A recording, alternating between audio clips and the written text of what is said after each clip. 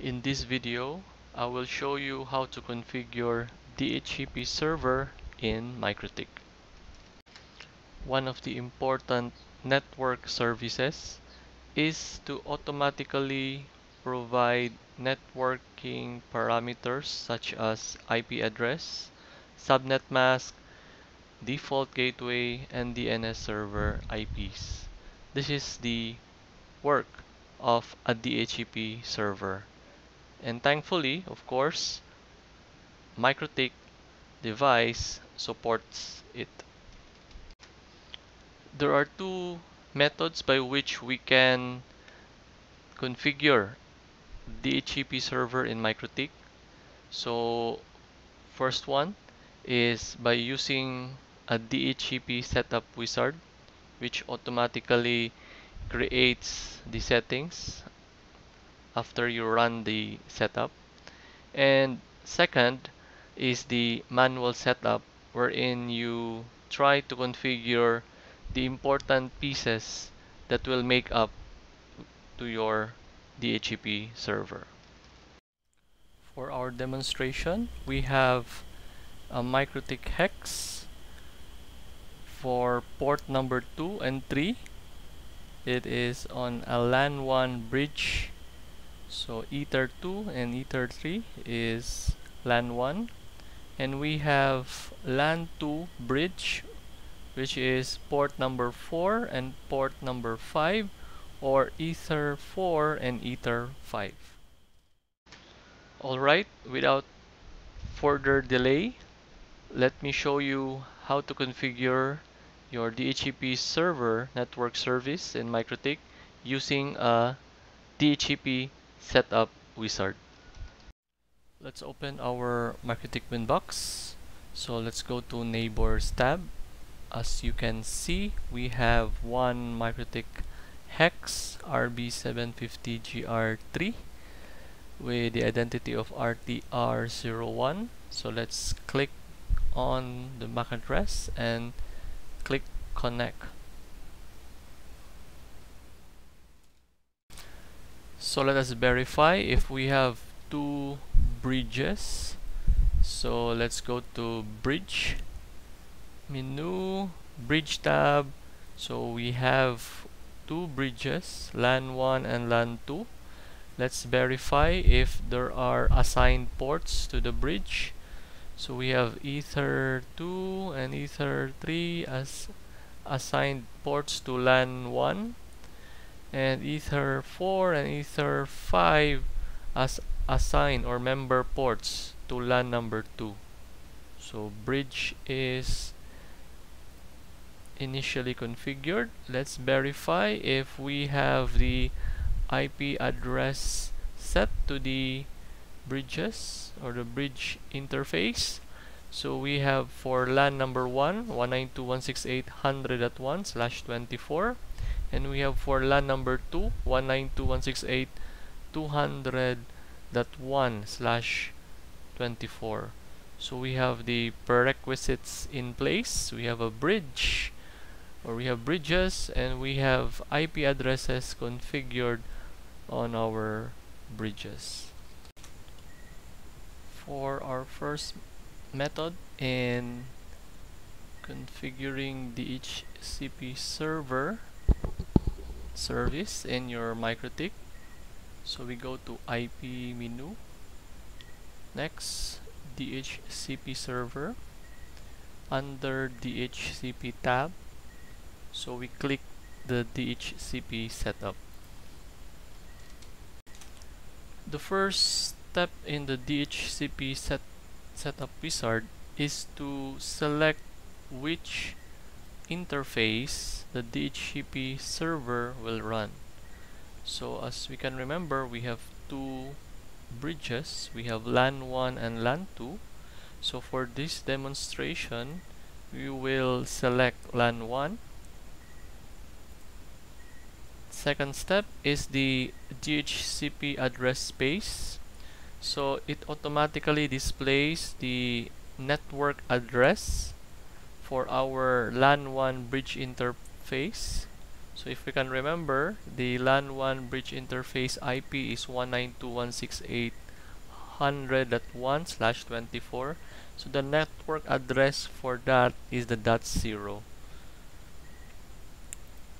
Next is the gateway for the DHCP. So this is the default gateway that our clients will receive from the DHCP server.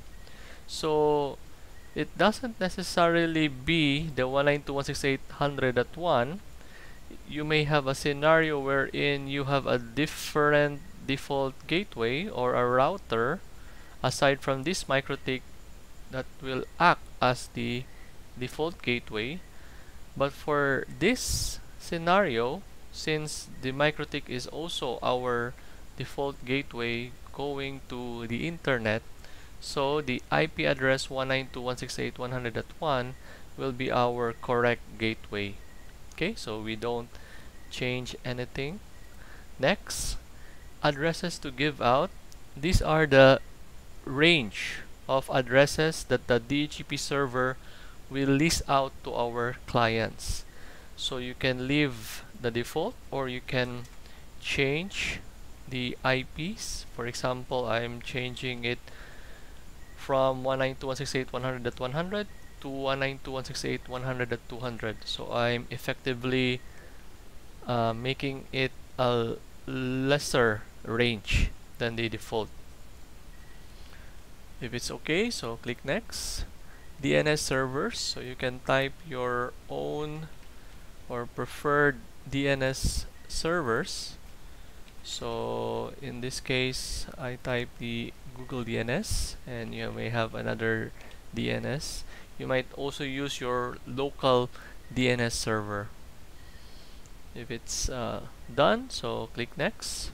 Lease time. So this is the amount of time wherein the DHCP client will be holding the IP address. So the lease time in the format of format of hours minutes and seconds. So it's a case-to-case -case scenario. Uh, you may have a office setup wherein computers are stationary and they work for 8 hours a day. So you might be using the 8 hours lease time or perhaps one day. Okay? So or you might this might be a guest network scenario wherein the users will come and go or the devices for this will come and go so you will be only configuring a lower lease time. So that's up to you. So let's say it's one hour. So click next. So we have completed the DHCP setup let us verify if indeed our DHCP server is running. So under the leases tab you will find any DHCP client that has acquired an IP address from the DHCP server.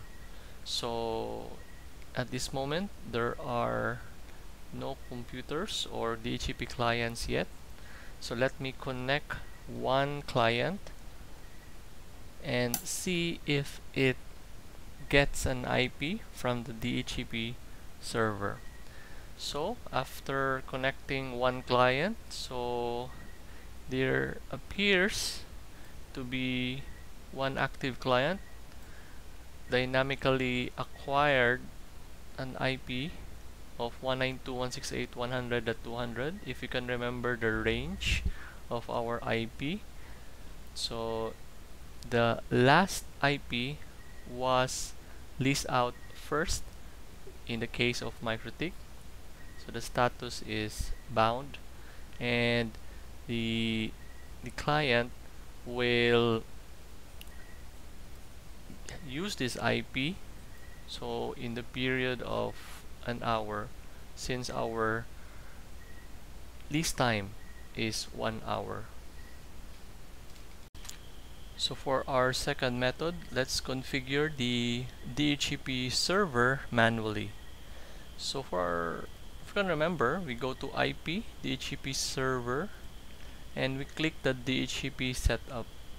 This time we will click the plus sign to add a new DHCP server. So we will now configure manually the settings here. So for the name, so let's have a descriptive name. So let's say this is LAN 2 DHCP. For the interface, we will select the LAN 2 bridge interface this time. For this time, so as you can remember, this is the amount of time that the IP address will be leased out to the client. So for this demonstration, let's have 8 hours. Next is address pool. So if we go to drop down, we don't have any address pool yet. So that is the next thing that we need to configure for our DHCP server configuration. So for now, we click apply and we click OK. So to configure the IP address pool, we go to IP pool. So the IP pool window opens. As you can see under the pools tab, there are no configured pool. So what we can do is we click the plus sign to add a new pool and add a descriptive name. For example, this is LAN2-pool for addresses. So this is the range of the IP addresses that can be leased out to the clients. So we have 192.168. So remember, this is LAN 2. So the third octet is 200. So let's start 50 for this demonstration up to 99 so click apply click OK now we have our LAN 2 pool configured. So we click close. We go back to our DHCP server setup. So we double click LAN 2-DHCP and under the address pool we will click on the drop down and select LAN 2 pool click apply and click OK Next, we will configure the DHCP server networks. So this is the address space, if you can remember. So the address will be 192.168.200.0 slash 24. So for our DHCP network on our LAN 2, so this is the network address. The gateway, so if this MikroTik will also act as our gateway. So we have 192.168.200.1 so netmask you can configure it but our address carries a slash 24 so perhaps don't need the DNS server. So let's have the same as our first example. We have 8.8.8.8 and we have 9.9.9.9 so as you can see, the DHCP service has so many options or network address parameters that could be leased out to the clients. So it is more than IP address, gateway, and the DNS servers. So for our demonstration, we will limit only for these settings. So click apply, we click OK let us test if our DHCP server on LAN 2 bridge interface is working. So we go to leases. As you can see, there are no DHCP clients that have acquired an IP from this DHCP server. So let me connect a client and see if it can acquire an IP address. So I've connected a client on LAN 2 bridge interface.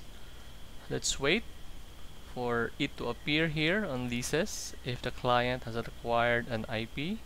And yes, indeed, there is one client which dynamically acquired an IP of 192.168.200.99.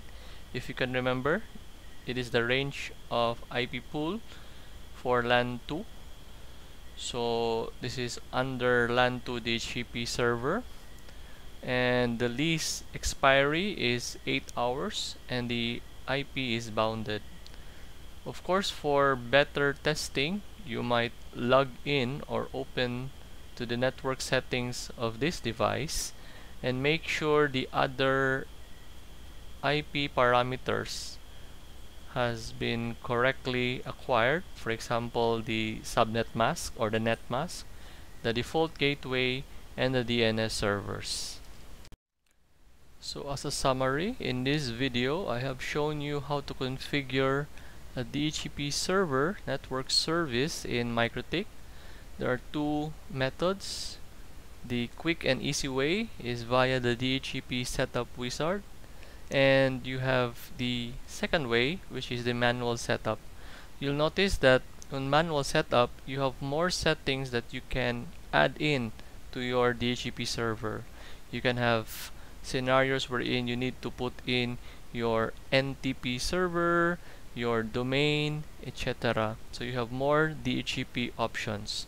So in the future video we might have some advanced DHCP server configuration using other DHCP options. So I hope you find this video or configuration guide helpful. Thank you.